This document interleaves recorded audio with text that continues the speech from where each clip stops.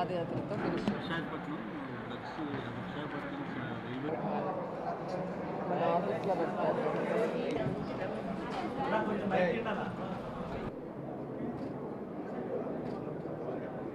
ప్రతిపక్షానికి సపోర్టివ్గా ఉంటారని మనస్ఫూర్తిగా కోరుకుంటున్నాను. గారు ఒక పెద్ద ఈవెంట్ని మన రాష్ట్ర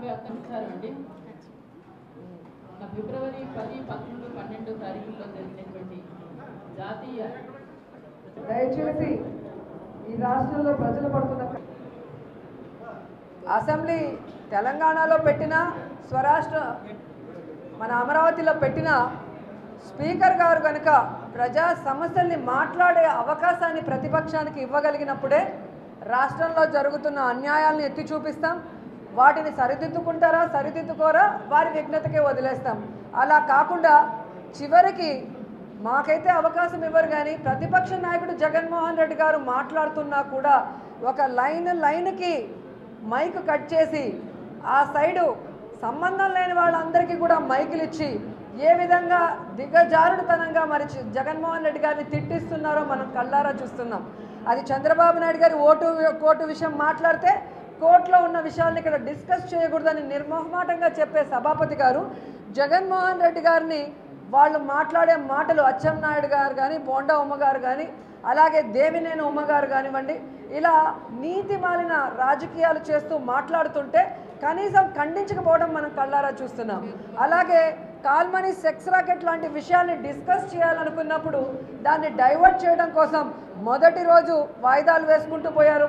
రెండవ రోజు అంబేద్కర్ గారి మీద ప్రేమ ఉన్నట్టు ఆ ఇష్యూని ముందుకు తీసుకొచ్చి చంద్రబాబు నాయుడిని పూడుకున్నారే తప్ప ఎక్కడ అంబేద్కర్ గారి గురించి కూడా మాట్లాడకుండా చివరికి ఏం చేయాలో అర్థం కాకుండా రోజాని వన్ ఇయర్ సస్పెండ్ చేసి ఆ ఇష్యూని ఎలా డైవర్ట్ చేశారో మనం చూస్తున్నాం.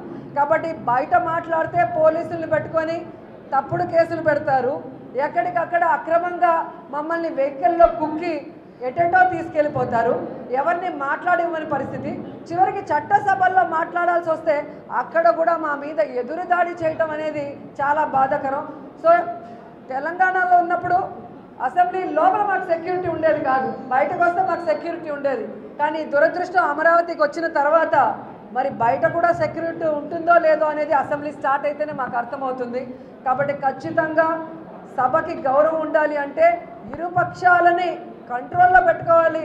ఇరు పక్షాలకి సరి అయిన సమయాన్ని ఇచ్చి ప్రజా సమస్యల మీద మాట్లాడే అవకాశాన్ని ఇచ్చినప్పుడు ఎవ్వరూ కూడా అభ్యంతరం తెలిపే అవకాశం ఉండదు. అసెంబ్లీ లోపల అసెంబ్లీ బయట మొన్న శశికళ గారు అరెస్ట్ అయినప్పుడు మాట్లాడిన సందర్భాలు మీరు అందరూ కూడా చూశారు. గురివిగింజకి దాని కింద ఉన్న మచ్చ తెలియదంట ఆ విధంగా చంద్రబాబు నాయుడు చేసే ప్రకటనలు ఆయన మంత్రులు ఎమ్మెల్యేలతో చేసే ప్రకటనలు మనకి కళ్ళారా కనిపిస్తున్నాయి ఎందుకంటే మీరు చూస్తే మాజీ సిఎస్ రమాకాంత్ రెడ్డి గారి ఇంటర్వ్యూ కనుక ప్రతి ఒక్కరూ చూస్తే జగన్ గారి మీద కుట్రపూరితంగా పెట్టిన కేసుల విషయం ప్రతి ఒక్కరికి కూడా తెలిసే అవకాశం ఉంటుంది. ఎందుకంటే మొదటి నుంచి కూడా నేను చెబుతూనే ఉన్నాను. ఇది కేవలం కాంగ్రెస్ పార్టీ తెలుగుదేశం పార్టీ జగన్మోహన్ రెడ్డి గారిని రాజకీయంగా మొగ్గలో తుంచేయాలన్న కారణంతో ఆయన మీద తప్పుడు కేసులు. అక్కడ సోనియా గాంధీ ఏమో శంకర్రావు గారితో ఇక్కడ చంద్రబాబు నాయుడు గారేమో ఎర్రం నాయుడుతో పెట్టించి ఆయన్ని ఏ విధంగా ఇబ్బంది పెడుతున్నారు? ఇది నిజం కాదు అని కూడా ఎన్నో సందర్భాల్లో చెప్పాను. ఢిల్లీకి వెళ్ళి చీకట్లో చిదంబరం కాళ్ళు పట్టుకొని తన కేసులు స్టే తెచ్చుకొని తప్పు చేయని జగన్మోహన్ రెడ్డి గారి మీద విచారణ పేరుతో ఎన్ని నెలలు జైల్లో పెట్టారో కూడా మనం కళ్ళారా చూసాం. కానీ తప్పు చేయలేదు కాబట్టే జగన్మోహన్ రెడ్డి గారు ఎంత నిబ్బరంగా ప్రతి ఒక్కటి కూడా ఎదుర్కొంటూ ఇంకా ముందుకు వస్తున్నాడు కానీ తప్పు చేశాడు కాబట్టే చంద్రబాబు నాయుడు గారు ఆల్మోస్ట్ ఇరవై ఐదు కేసులు స్టే తెచ్చుకొని ఇంతవరకు దేనికి కూడా విచారణ సిద్ధం కాకుండా ప్రతిసారి జగన్మోహన్ రెడ్డి గారి మీద బురద చల్లడానికి ప్రయత్నం చేస్తున్నారు. ఈరోజు కూడా నేను ఆయన్ని సవాల్ చేస్తున్నాను. నిజంగా మీరు తప్పు చేయకుంటే మీ కేసుల మీద ఉన్న స్టే ఎత్తేయించి ఆ స్టేల విచారణ కనుక మీరు ముందుకు వస్తే మీరు నిర్దోష దోష అనేది కోర్టులు నిర్ణయిస్తే ఆ రోజు ప్రజలు మీ గురించి తెలుసుకునే అవకాశం ఉంటుందని కూడా ఈ సందర్భంగా తెలియజేసుకుంటున్నా. ఎందుకంటే చంద్రబాబు నాయుడు ఎంత గొప్పోడంటే ఆయన తప్పుల మీద తప్పులు చేస్తాడు ఆయన కొడుకు తప్పుల మీద తప్పులు చేస్తారు కానీ వాటిని ఎవ్వరూ ప్రశ్నించకూడదు.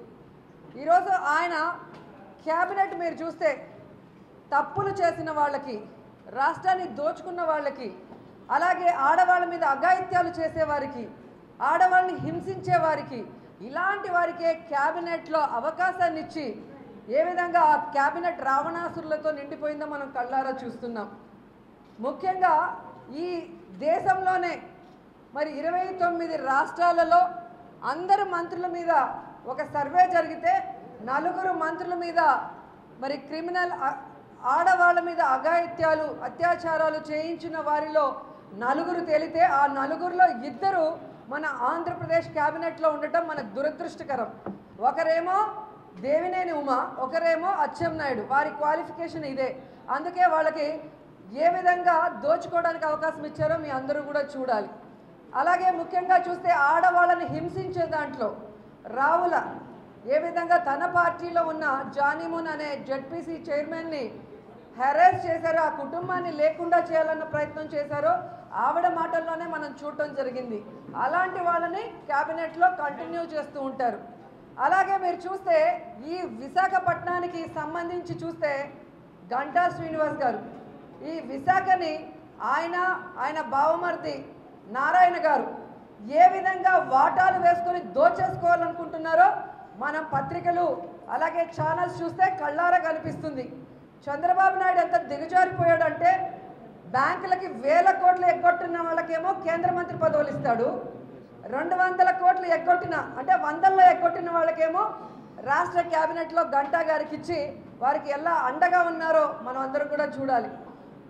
ఈరోజు ము- మంత్రి స్థానంలో ఉన్న అయ్యన్న పాత్రుడు లాంటి వాళ్ళే ఇలాంటి గంజాయ సాగు చేయిస్తున్నారని పత్రికల్లో నేను చూసినప్పుడు నాకు చాలా ఆశ్చర్యం వేసింది. ఇదేంటి? ఎటు వెళ్తుంది? ఇది ప్రజాస్వామ్యమా లేకపోతే రౌడీ రాజ్యమా అని నాకు అర్థం కాకుండా పోతుంది. ఖచ్చితంగా డీజీపీ గారు లాంటి వాళ్ళు ఇలాంటి వాటి మీద ఉక్కుపాదం పెట్టి ఈ రాష్ట్రాన్ని ముందుకు నడిపించాలి ప్రజలకి అండగా ఉండాలని కూడా వాళ్ళని నేను కోరుకుంటూ ముఖ్యంగా ఈ విశాఖ జిల్లాని దోచుకోవడంలో ఉన్న ఇంట్రెస్ట్ ఈ విశాఖ జిల్లా ప్రజల చిరకాల ఆంక్ష అయిన మరి రైల్వే జోన్ గురించి లేకపోవడం చాలా బాధాకరం. ఈ ప్రత్యేక రైల్వే జోన్ కోసం వైఎస్ఆర్ కాంగ్రెస్ పార్టీ వాళ్ళు ఈ జిల్లా ప్రజలందరికీ మద్దతుగా ఎన్నో పోరాటాలు చేస్తున్నా కూడా తన ఓటు నోటు కేసులో తప్పించుకోవడం కోసం చంద్రబాబు నాయుడు గారు ప్రత్యేక హోదాతో పాటు ప్రత్యేక రైల్వే జోన్ని కూడా ఈరోజు కేంద్రం కాళ్ళ దగ్గర తాకట్టు పెట్టింది నిజం కాదా నేను అడుగుతున్నాను. ఈరోజు ఇక్కడ విశాఖపట్నాన్ని అందరూ బాబులు కలిసి ఎలా దోచేసుకుంటున్నారో మీకు నేను కొత్తగా చెప్పాల్సిన అవసరం లేదు.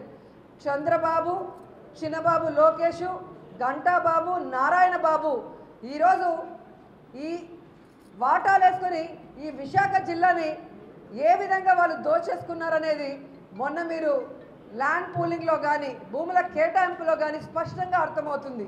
అంటే చంద్రబాబు నాయుడికి లోకేష్ బాబుకి రావాల్సిన అన్ని కమిషన్లు వచ్చాయి కాబట్టే ఆ ల్యాండ్ పోలింగ్లో విషయం స్కామ్ బయటపడ్డా కూడా అతన్ని ఎంతవరకు కూడా క్యాబినెట్ నుంచి బర్తరఫ్ చేయలేదు అనేది సాక్ష్యం.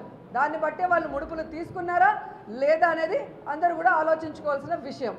అలాగే చూస్తే వారితో జత కలిసిన బీజేపీ ఎమ్మెల్యే విష్ణుకుమార్ రాజు గారు కూడా క్లియర్గా చెప్పారు.